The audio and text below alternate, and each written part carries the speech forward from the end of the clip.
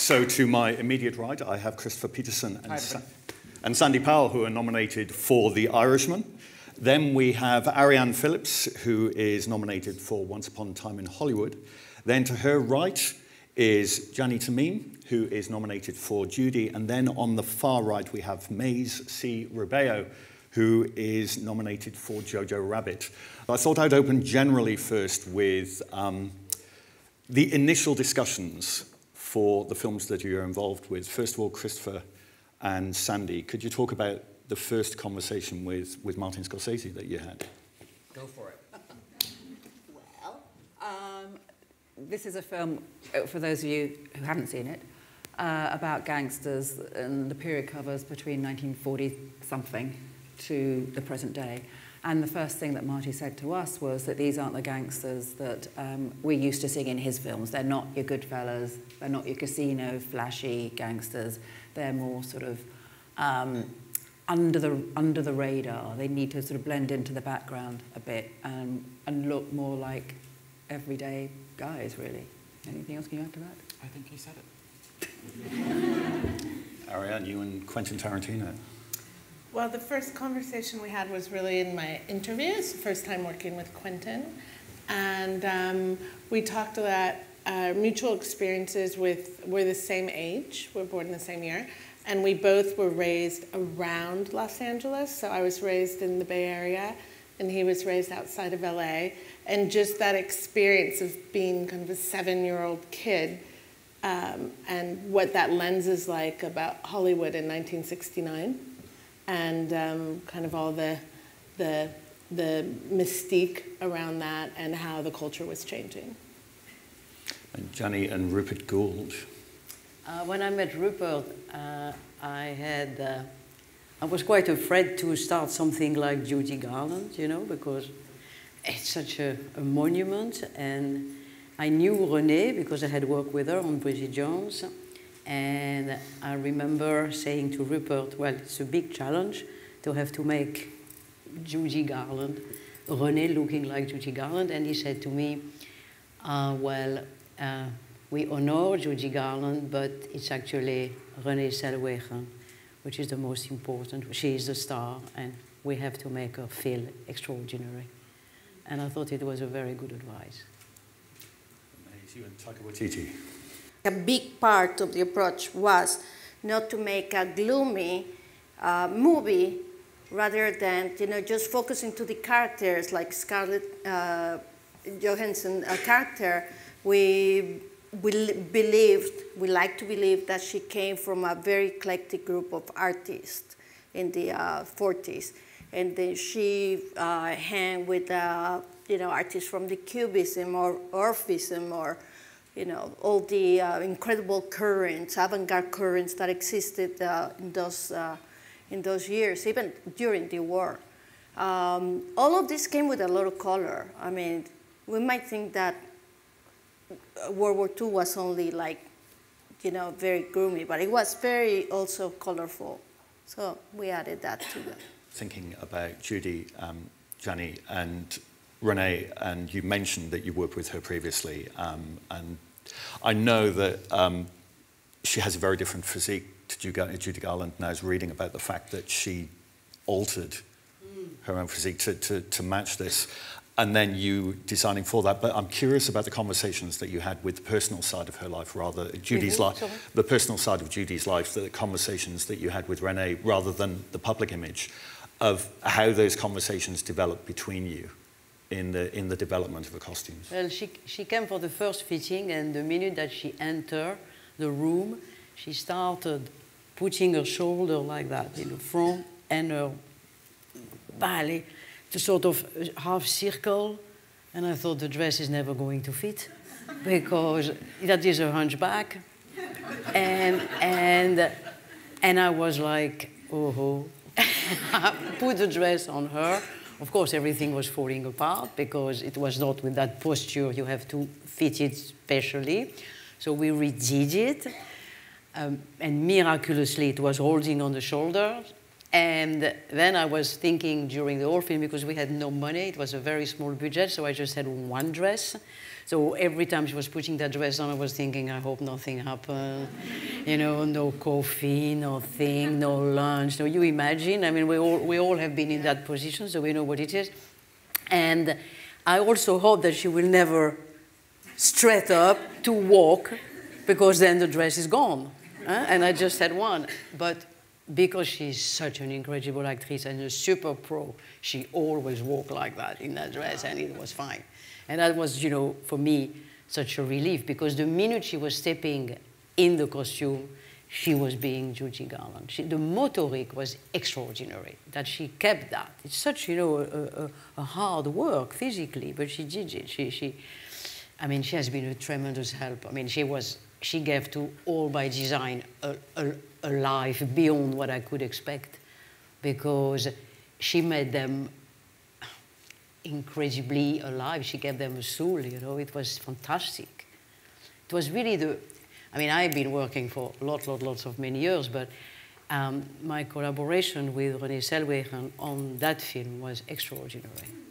So these three films focus on, on specific moments in time, and then we, we come to The Irishman, which is this vast epic spanning so many decades. Um, I watched the film again two days ago, and, and what stunned me about it is that unlike most films that take us decade by decade through someone's life, you, you, you, don't have the marker of this is the 1940s, the 1950s.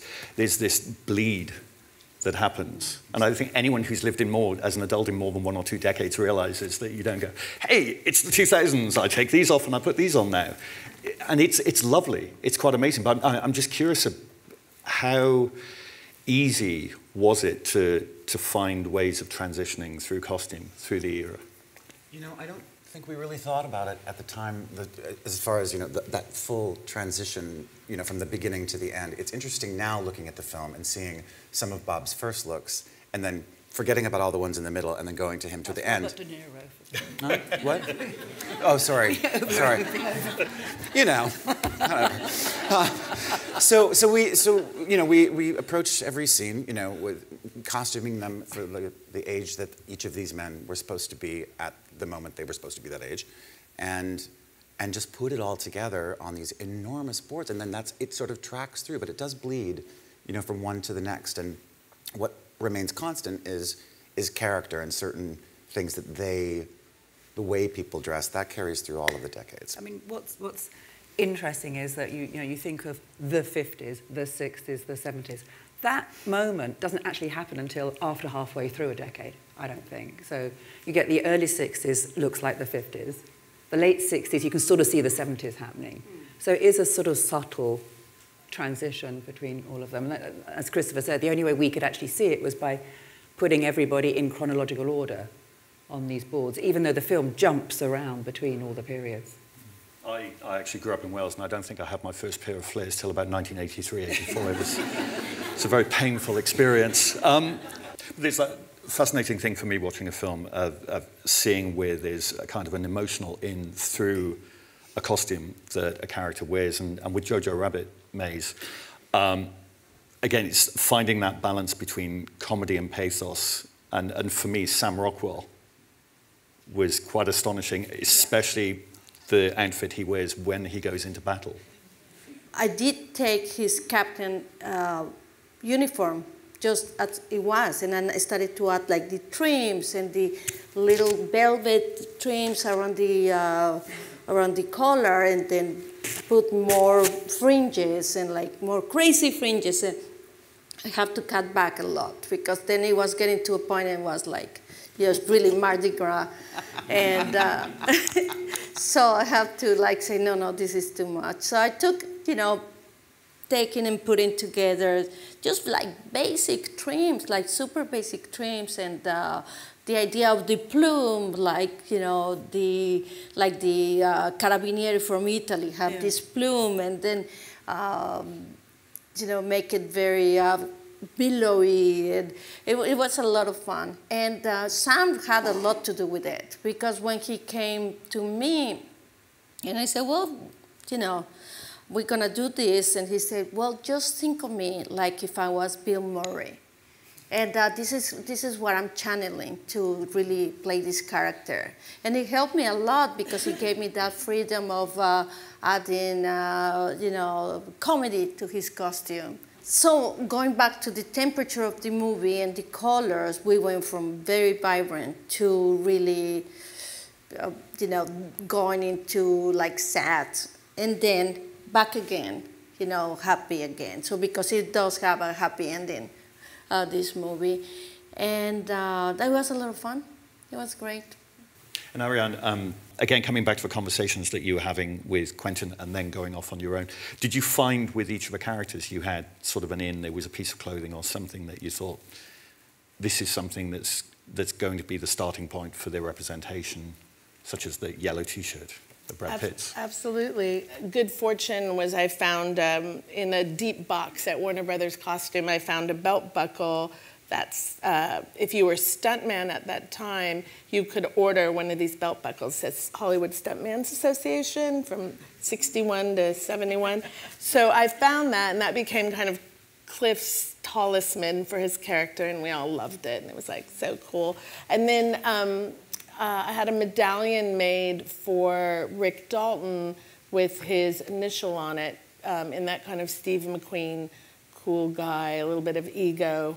Um, so that became his talisman. And then for Margot's character, for Sharon Tate, Debra Tate, Sharon's sister, was a consultant on our film. And um, at that time, uh, the time we were shooting, she was preparing for the first time ever in 50 years an auction of some of Sharon's personal items. So I got to see the clothes. Uh, there's some clothes and some luggage and some jewelry, and I got to see and touch everything. And of course, uh, Debra gave me all kinds of beautiful anecdotes about her. And I asked her if it would be possible to borrow some of the jewelry, not because it was very, it was just insignificant costume jewelry. It wasn't anything valuable or, or particularly memorable, but the fact that it belonged to Sharon, I thought it might be a great touchstone for Margot.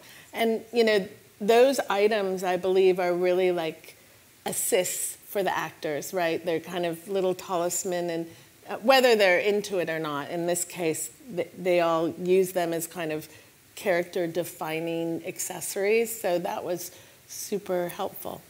But you know, that's funny that you say that because I gave to Renee the Chanel bag of my mother because we, I had them. I had a Chanel bag, all the jewelry of my mother, you know, the clip from the from the 60s, and I say, well, I cannot find anything better than that. Oh, and it yeah. is so fantastic because when you are doing 68, you still can have original stuff. Sure. And they help, that help the actors and the actresses so much because they have something with an history and they love that. It's so funny. Yeah. yeah. well, it's like, I think that costumes are, I always say, are like a beam me up suit. They should serve two roles, right? To inform the create the character, inform the story, move the story along for the audience visually, but then also as a tactile, physical assist for the actors. Not all, not all actors work that way, but in case they do, it, an opportunity for them to really inhabit and kind of beam me, beam them to that character. The materials are key you know, uh, you can have materials that uh, can make a, a, costume iconic or a scene, whole scene iconic, like I see all my colleagues have wonderful, you know, visuals on that, on their work. And this, uh, it's good to adapt it to a character, it's good to adapt it to a film. and the color, when all that comes together, it's like painting on a canvas and you have the right colors for the, like the right oil, you know, uh, paintings, and then you have the uh, results you wanted to have, that you have in your mind. And Jany, um, we saw a clip from uh, the performance of the trolley song. That outfit alone is, is magnificent. Um, I've had the pleasure of interviewing you in the past and, and know how exacting you are about exactly the kind of materials that you want to use. And for this film, uh, how much of a challenge did you find it? Used, we had no money. And that was a big challenge, and I had so many costumes to do, so I tried to gather as much vintage that I found. And uh, what you see now, what uh, she was dancing in, the top is a Lanvin Castillo uh, dress from the 70s. I shorter it a little bit and I made a golden trouser to match it because um, it was not possible to have all those costumes made. So I squatted at Angels for three months.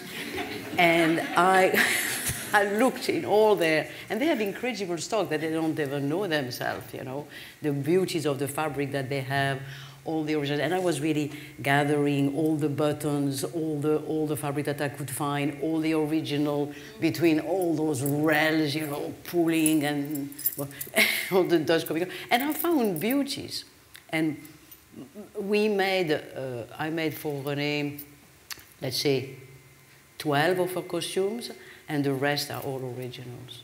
The Irishman in suits. Harvey Keitel is at the top of the food chain, and he is smartly and tightly dressed. And then we're working our way down.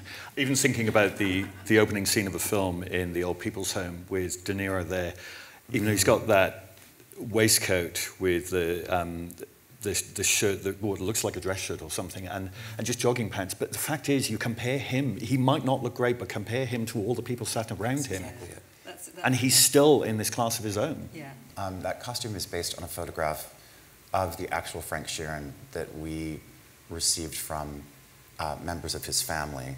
I mean, and the components of it are essentially because the, the, the whole film is a rumination on, you know, a life of, you know, compromising bad choices. I mean, that, that's, that's the backbone of the film.